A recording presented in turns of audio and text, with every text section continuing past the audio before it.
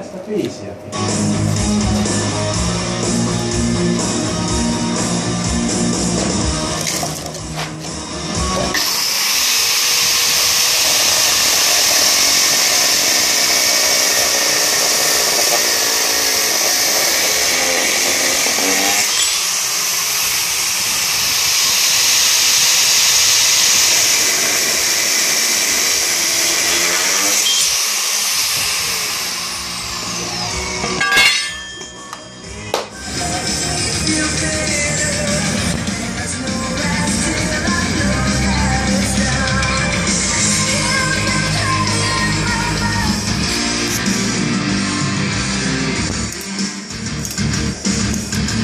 Käyhän se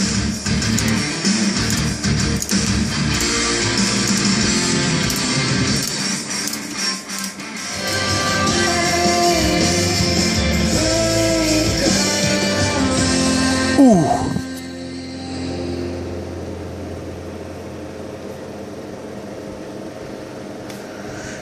Se